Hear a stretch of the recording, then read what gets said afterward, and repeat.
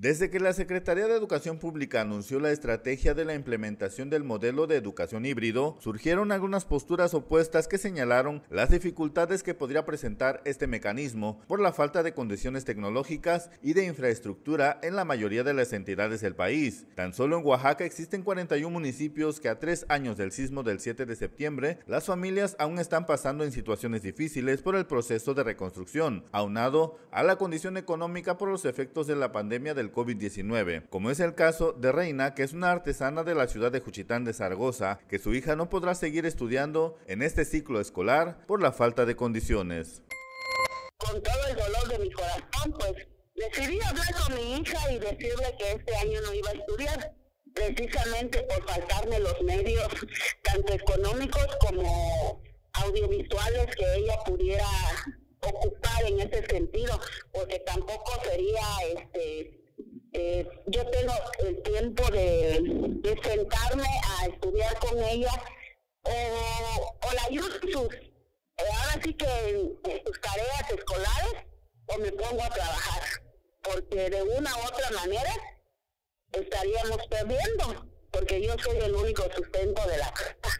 A pesar de que las autoridades sanitarias en algún momento decreten el semáforo verde para el regreso a clases de manera presencial, existen 200 escuelas en la entidad oaxaqueña que aún están en proceso de reconstrucción. Nosotros pensábamos que se iba a aprovechar este tiempo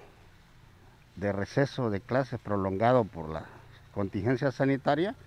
para que ellos, las autoridades correspondientes, terminaran las, las aulas sin embargo, no lo hicieron, al contrario, hicieron un paro total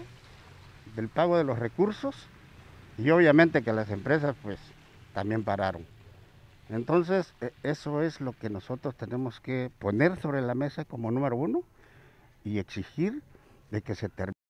La mayoría de las escuelas afectadas por el sismo de 8.2 grados del 7 de septiembre del año 2017 permanecen aún en obra negra. Estas se ubican en los municipios de la región del Istmo, donde por problemas administrativos y sindicales los trabajos aún no han concluido. En el año 2019, el gobierno del estado de Oaxaca había hecho el anuncio de la inversión de 2.100 millones de pesos para la ejecución de las obras, pero muchas de estas no pudieron concluir, por lo que el actual gobierno federal incluyó estos proyectos en el Plan Nacional de Reconstrucción. Realizar una adaptación de sana distancia o mecanismos de salud ante un regreso a clases presencial será difícil trazar, cuando aún no se toman clases en escuelas inconclusas e incluso bajo lonas. Reportó para Mega Noticias José Luis López.